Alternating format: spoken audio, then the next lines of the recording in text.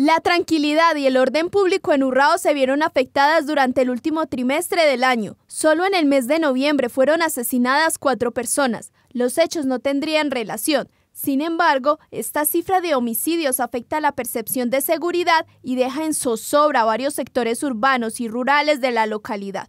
En la vereda La Encarnación se presentó una de las primeras víctimas. Posterior a este hecho, fue asesinado un joven en el sector de Buenos Aires en la vía La Variante. En zona rural fue encontrado el cuerpo de un habitante de la vereda La Lucía, quien presentaba múltiples heridas por arma blanca. En otro de los barrios periféricos de la localidad murió un indígena también de manera violenta.